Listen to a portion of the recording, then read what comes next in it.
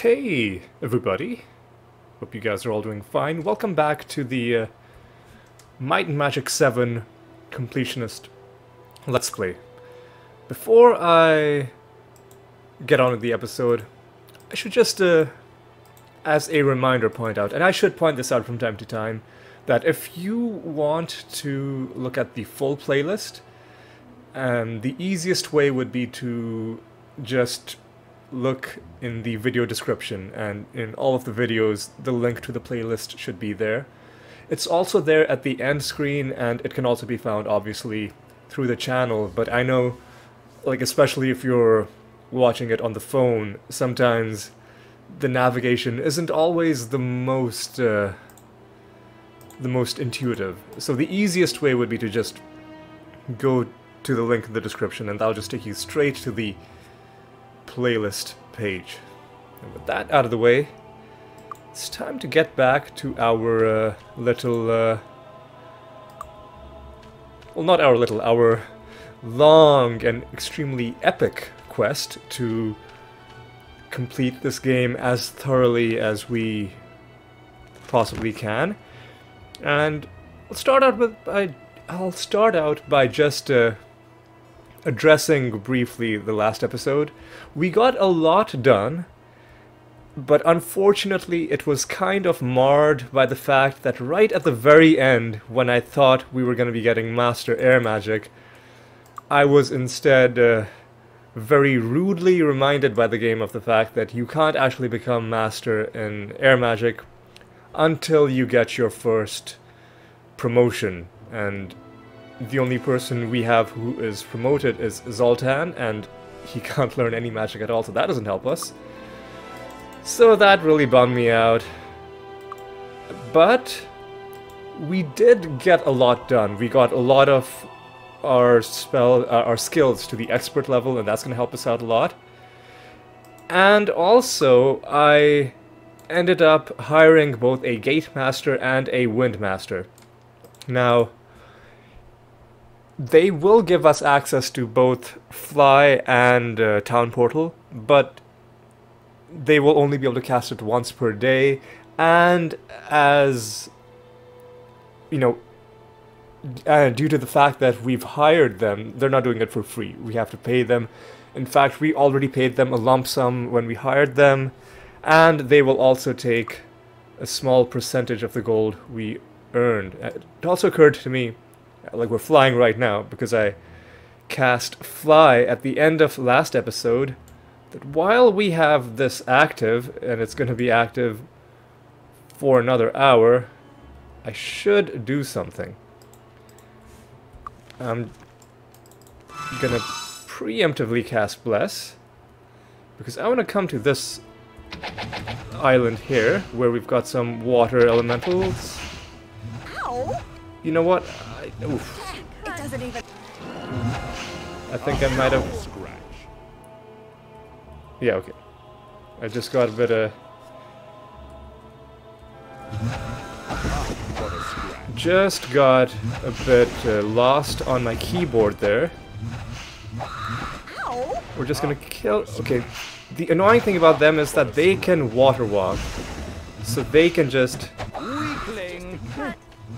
go out into the ocean willy-nilly. And that's not good for us because we can't do that. We have fly active, but it's not going to be active for much longer. And the question for me is, do I do I bother killing them? But I need it fixed. I think the answer is going to be we'll just clear out one side, and they uh, this person is off the map, which is really annoying. Because I can't go any further beyond this point. Okay. He killed... How are we supposed to rest here? Okay, this is a... Uh, this has clearly gone horribly wrong. I'm just gonna load my game. We're gonna try something different.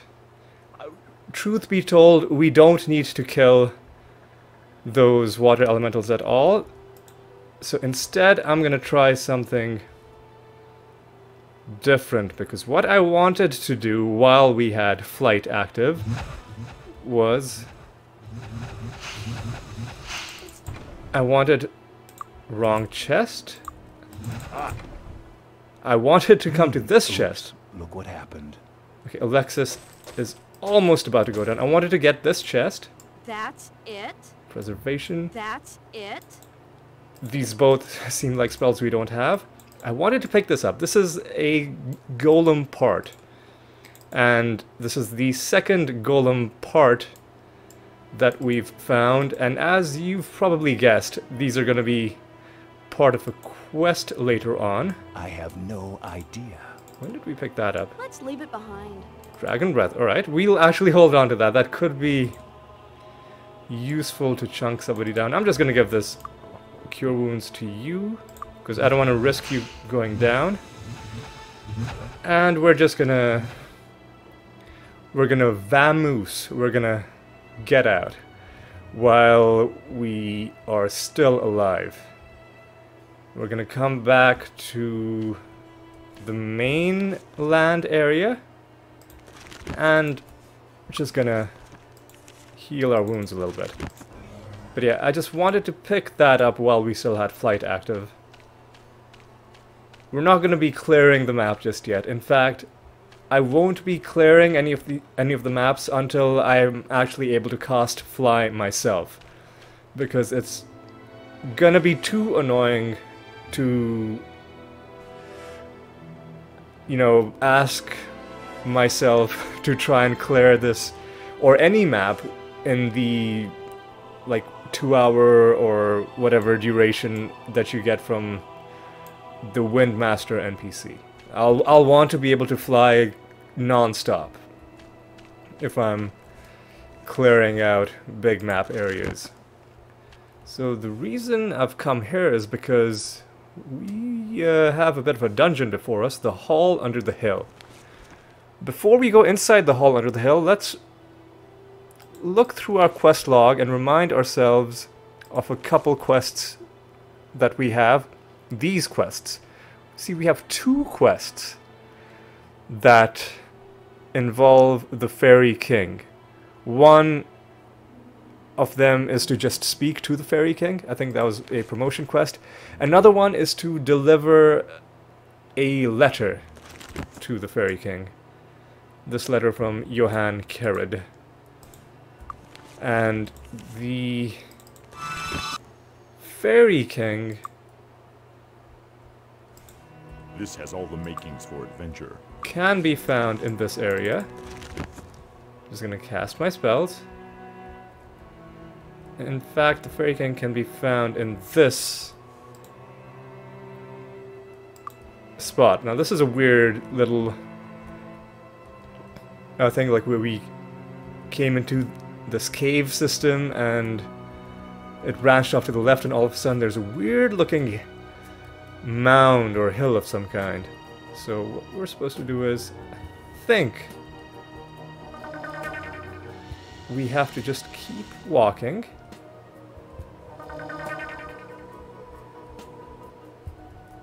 And yep, uh, this might be it.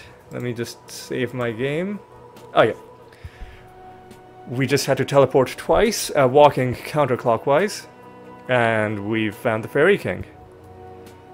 He welcomes us and says that few attain the door, which I'm not entirely sure what that means. I guess that means few people are able to come to this spot. But anyway, we've uh, we've made our way here, so let's talk to him. And he tells us that we have now solved the quest to become hunters. Um, there's a Sorry, I'm a bit quiet right now because I was expecting there to be another option to give him the letter, but maybe this will give him... Well, let's click on this. Well, before we click on this, I guess I'll make sure I'm not missing anything here. Now, all this is doing is letting us know that we've completed the hunter quest and we, we're now hunters. But since we didn't have any hunters in our party, we are all just honorary hunters. Now let's click on this quest. Okay, so he does acknowledge Johann, and I assume he took the letter from us as well. And he gives us some pipes. And in exchange for the pipes, he takes all of our food, which is an odd thing that happens, but I guess that's fine. It's not hard to get food in this game. And also, he says there's some food down below. N not sure what he's talking about. Maybe we'll get a chance to see. But yeah, for now, let's just close this dialogue option. And let's take a look at our quests now.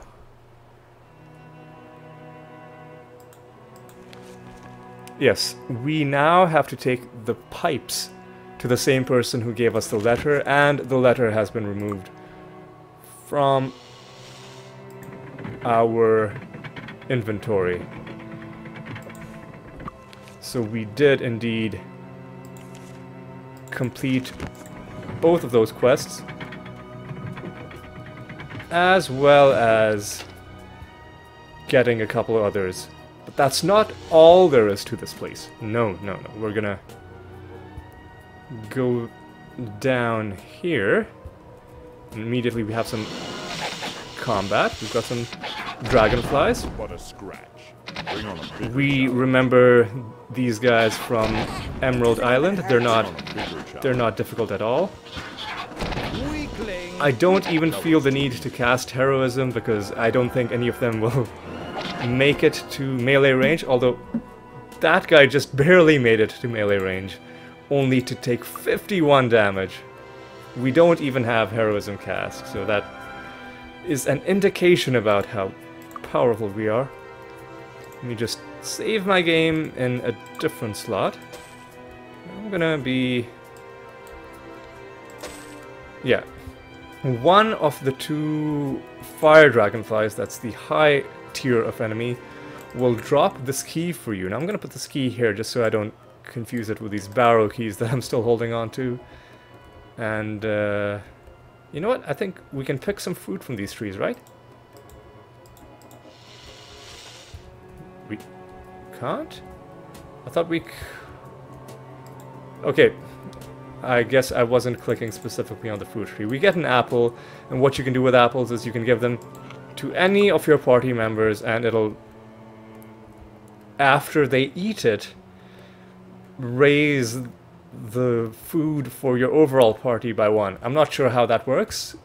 Maybe they're regurgitating it after eating it. You know what? Let's not. Let's not dwell on it. Ooh. Let's also see if we can learn these spells. I can't learn that. Oh, rats! I can't learn this! So nobody can learn that. That is going to be useful. But you were able to learn preservation. Let's see what preservation does. It's a, I think, spirit magic spell. Delaying death. Alright, that could be pretty handy. Beats the heck out of me! That's it. That's pretty pathetic pair of shoes. That's it. That halberd, not much better. I'm just gonna ignore stuff like that. What I'll do now is I'll get get another apple from this fruit tree. And now that we have two food, we will be able to rest. We'll be able to rest if we so choose. And as you saw, Please. our followers are taking a big chunk of our uh, of our gold found and it's gonna remain like this for Let's leave it behind. the duration for the entire duration for which we'll have them which will be That's it. up until we are able to cast fly and town portal ourselves. Okay, now let me just get my bearings. I think we might actually be close to finishing this dungeon already. It's not a it's not a long one at all, but there is Sorry, can't help. Sorry, can't help. I don't know what that is. That's it? I'll pick that up because we can sell it for a bit of money. Okay. Okay, yeah, okay. This is where we needed to go. So if we have the fairy key, then somewhere here should be a thing we can interact with. Hmm.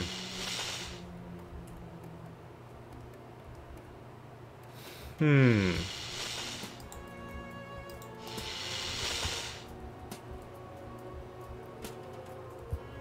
Let me take a look around before I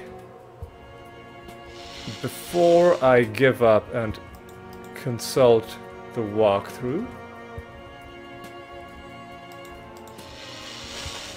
And I'm looking at the walls. I'm not seeing anything.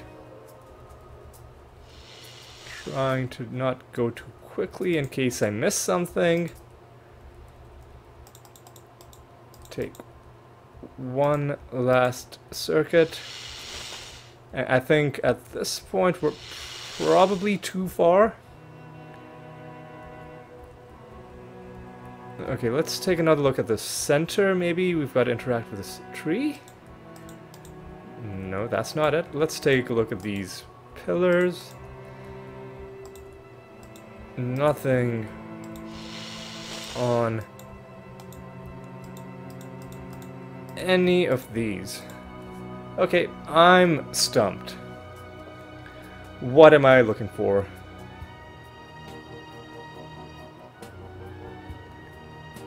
Okay, so apparently I've got to click on a tile somewhere here to reveal a keyhole. Aha, okay. That was very hard to see. That was very hard to see. And now clicking on this keyhole will cause this staircase to rise up and this door to open. And inside this door, well, we get some annoying stairs that are blocking our shots. But we also get a couple more dragonflies to kill, and sadly, all we have inside is a well that doesn't seem like it does anything. Let's leave it behind. A wooden shield that I don't really care about. A club, which is garbage. It's disarmed. And a chest with more garbage inside and a bit of gold in the ground. I guess I'll pick up this cure wounds potion because it's not it's not a bad idea to keep a few of those lying around so you don't have to rely on casting heal yourself. So yeah, now we're done with this area. It's fully clear and all but certain that there aren't any other quests that will lead us back here. Well, except for the Johann Kerid quest. We might have to come back here after dropping off the pipes. But apart from that, I think we're basically done. Let's just make sure there's nothing to do with any of these. I don't think there is, but might as well just be sure. Let's make our way back. And we've all, yeah. It should be obvious, but we've also killed every single thing by virtue of the fact that we've walked pretty much everywhere here. And after killing those last few dragonflies, this place was just a green through and through just to be because we got teleported there just to give further proof. We've walked back here. I don't want to start teleporting back to that spot again, because that would just waste time. But that was just to show you that there wasn't any enemy in these parts. So this... This place is clear. So now we can leave the hall under the hill. It's night now. Let's take a look at our party.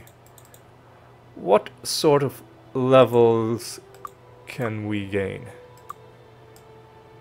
We can go from 14 to 15 and we're not far from 16. Right, so we're actually done with Avlee for now. We're not done with this entire map because we need to come back and we need to clear all the enemies. We also need to come back and uh, go into two other dungeons, which I'm not going to spoil what either of them are right now, but there's a lot more to do, but for now we're done and we're to go into some uh, other areas. Sorry, I'm a... Okay, yeah, this is the guy I was looking for. Steagal Snick, who has a quest for us. He will promote archers to warrior mages. That is the basic archer to the next upgrade. And uh, none of uh, none of us are archers, but we will be honorary warrior mages by virtue of completing it.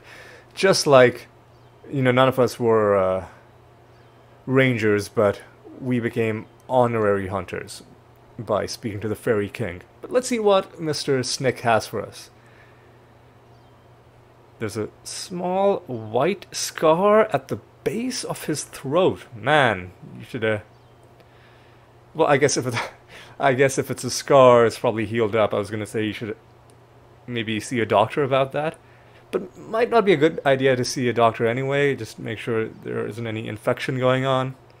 Anyway, let's talk to him. Let's see what he has for us.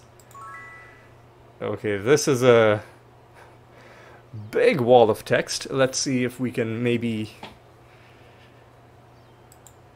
skim through it and summarize what he wants. Apparently he's having trouble breathing. Yeah, you should definitely see someone about that. So, to become a warrior mage, you must be equally proficient in both magical skills and physical skills. That makes sense. There's a test for it. So far, so good. Go to the Red Dwarf Mines. Not bad. We already have to go there for something else. Inside, you'll find two kinds of beasts. One that can be harmed only with magic, one only with steel. In the back of the lower sections, you'll find a machine created by the dwarves that powers the lift. The only access between the two sections. To keep the creatures trapped in the lower section, you'll have to replace the belt with this belt that'll eventually break. Huh. So I mean, it's kind of kind of sketchy. We're essentially being asked to sabotage a mine, but I guess it's for a good cause because we were also told that there were uh, dangerous creatures in the mine. I, I, I know, is he talking about the Medusas? But in any event, it's being hinted at that there's going to be some physical immune enemies and also some magic immune enemies. That is to say, if he is to be believed, there'll be some enemies that we can only damage by casting spells at him, spells at them, and some other enemies that we can only cast by just bashing them until they die. So I guess all things considered, that's a pretty appropriate test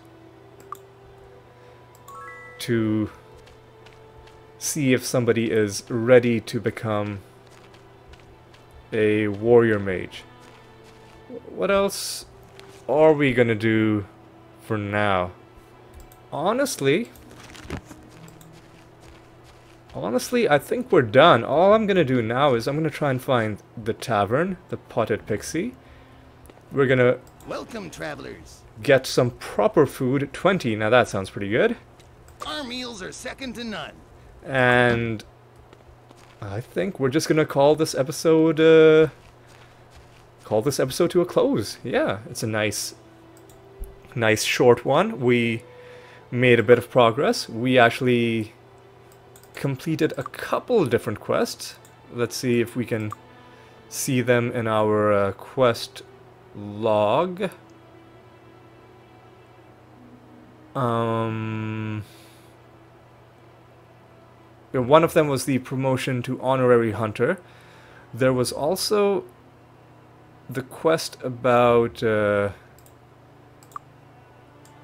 uh, what's his name, Kerid, Johann Kerid's letter. I guess that didn't really show up, but we've nonetheless completed that, and we got our reward for it, and we've got a further quest to do. Maybe the entry will come into our quest log after we deal with this pipe situation and just fully close out this quest line. In any event, let's not worry about it too much. Let's just... No, let me just put my horseshoes... Man, like... I'm sorry, it's, it's bothering me that your inventory is this... You know what, let's give the horseshoes to uh, Roderick, because I think that's going to make things a bit neater. I wouldn't want to accidentally use a horseshoe if, you know, while I'm moving stuff around in your inventory, and then we can move things like this. And now they're neatly arranged. By the way, the way I was able to move them so quickly is, well, there are two ways to move things between characters. One is you click on it to pick the item up, and then you click on another character to drop the item into their inventory. Another thing you can do is, so you can cycle quickly between characters by using the 1, 2, 3, or 4 number keys. Another thing you can do is if you pick up an item and then you press 1, 2, 3, or 4, it'll drop the item in that character's inventory. So you are number 1. If I press number 1, it'll just drop it back in your inventory. But if I then press number 2, it will drop this horseshoe in your inventory. In, in your inventory. Your meaning Roderick's inventory. So that's a little trick that you can employ just to speed things up a little bit when you're doing some inventory management. Like you don't have to manually move everything around. And this is going to save you some time. So anyway, with that impromptu little tutorial out of the way, let me just save the game again. Yeah, and I think we are going to draw this video to a close. When we come back, uh, we will make our way towards Bracada, but there are a few little things we'll have to do before we get there. When we go back to the Tularean Forest, we'll have to deposit this quest. I'll also maybe do some training, see if we can get some more skills upgraded. But the next main destination is going to be Bracada, because we've got a main quest objective that's pointing us there. Uh, that is, of course, this quest to rescue the red, the dwarves from the Red Dwarf mines, and of course, there's a uh, promotion quest that's also pointing us to that same location. So we've got two reasons to go there, and in Bracada in general, we will have a lot to do. There are a bunch of trainers there.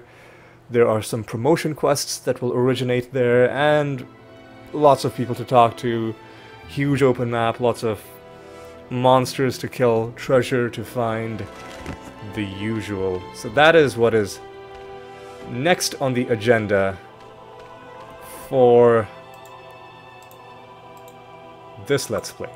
But yeah, with that long-winded outro out of the way, I'll thank you for watching. I hope you enjoyed this episode, and I hope you'll join me for the next one.